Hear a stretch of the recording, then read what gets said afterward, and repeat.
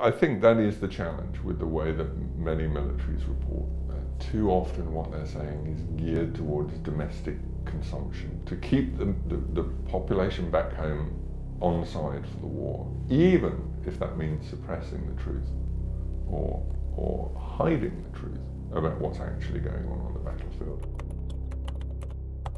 My name is Chris Woods. I'm an investigative journalist and I run an organisation called airwars.org. We track international airstrikes in places like Iraq, Syria and Libya and we try and identify who's killing uh, the civilians uh, in those countries from airstrikes. Over time, I've covered a lot of conflicts and, and also at different stages of the conflict. So for Iraq, after, I was there for the 2003 invasion and then, then I went back most years up until I think about 2007. Uh, making big reports for BBC Panorama. There are multiple perspectives and sometimes completely overlapping and contradictory facts um, the best you can do is, is to understand those different perspectives and try to weave them together into a, into a, a credible understanding of what's going on.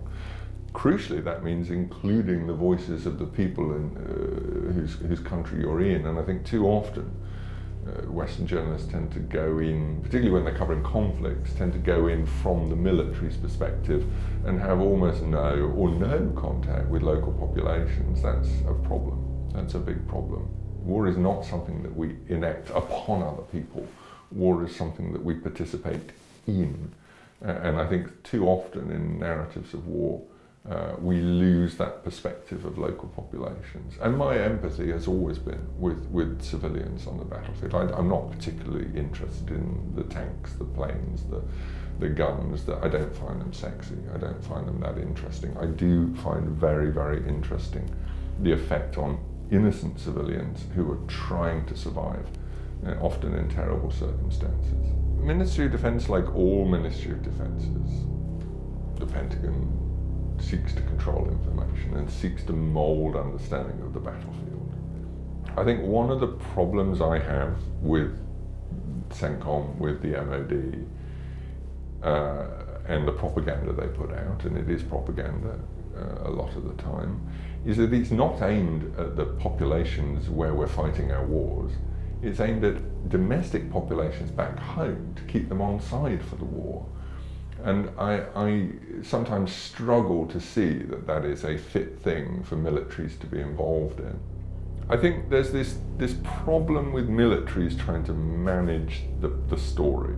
Too often what they're saying is geared towards domestic consumption, to keep the, the, the population back home on side for the war, even if that means suppressing the truth or, or hiding the truth about what's actually going on on the battlefield. And I think that's majorly problematic. This, you know, this is not 1914. We should have moved well beyond that. And of course, the big difference between now and 1914 is we know what's happening on the battlefield because we have those other perspectives now. We have social media, we have the enemy's position, we have that in real time.